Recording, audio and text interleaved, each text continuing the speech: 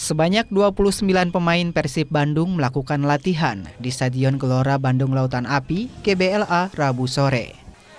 Dalam latihan tersebut juga sudah hadir dua legiun asing, Omid Nazari dan Nick Kuiper, serta rekrutan anyar Victor Igbonevo yang baru tiba dari Thailand. Pelatih Robert Rene Arbet mengatakan hanya Supardi dan Akil yang belum bisa bergabung latihan. Porsi latihan yang diberikan kepada pemain dengan intensitas sedang agar kaki dan tubuh pemain tidak kaku.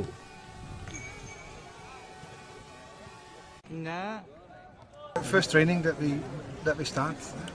Uh, is still not feeling that good after he came back from the Umrah, so he's missing. Supadi missing. Uh, Akil, that should also be on the training, still got a throat problem, so those two are absent. Uh, and we start medium intensity.